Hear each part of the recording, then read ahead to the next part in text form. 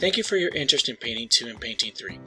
This video is going to explain a little bit about what these classes are, what you can expect to learn, and what you can expect to do while you're taking these classes. So the first thing we're gonna I'm gonna explain is why should you take an art class? Because there are very many different reasons as to doing that. First of all, you get a different learning environment throughout your day, so it's a nice little break. Also, you're going to be developing existing skills. Many students tell me that they can't paint and that's why they don't take a class. Well, that's a perfect reason to take a class, is that you're not really sure how to do it.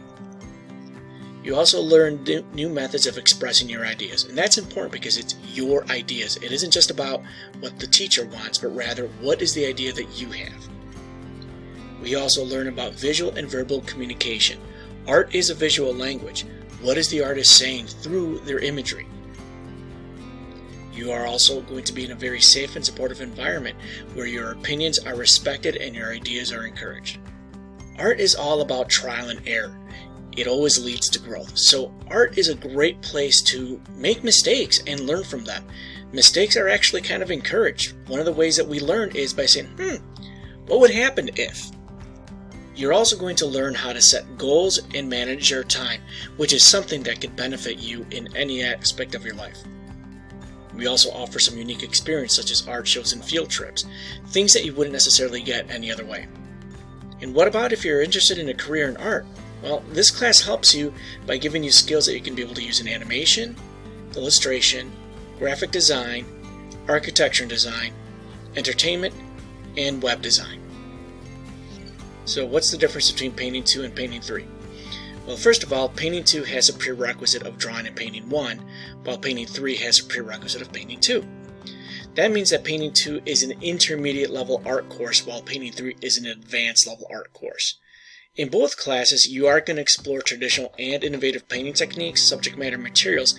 However, in Painting 3, you're actually going to be developing exploration of series of work. So it isn't just about works dealing with one topic then moving on to a different topic, but rather approaching the same topic in different ways. You're also going to be developing your ability to explore and communicate complex themes in Painting 3.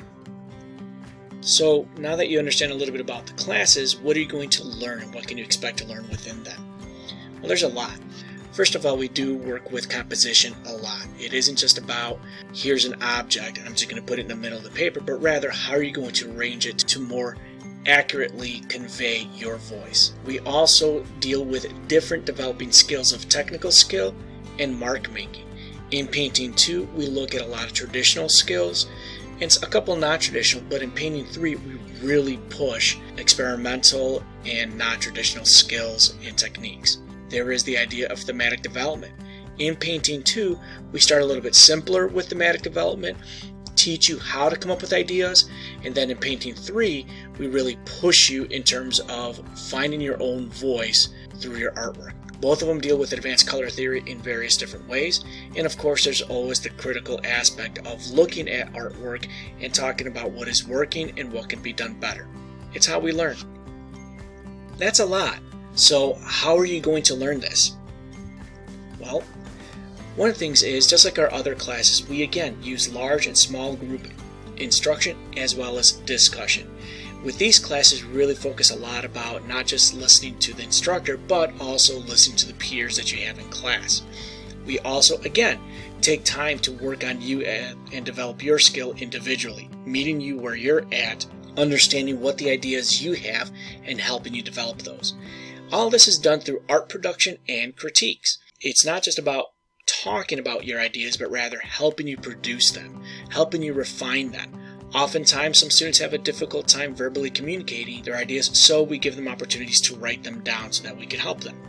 All throughout the semester, you are going to be developing your portfolio, which is going to show you just how much you've grown throughout the semester and through the experiences we've provided.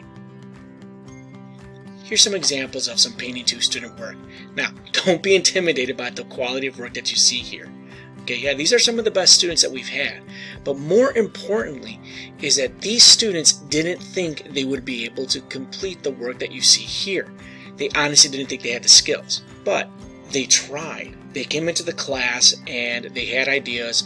They learned the techniques through various different things, various different activities and exercises we gave them, and then developed beautiful work. Once again, like I said, they didn't think they'd be able to produce this work, and what you see here is the results of their practice. It's the results of their trial and error.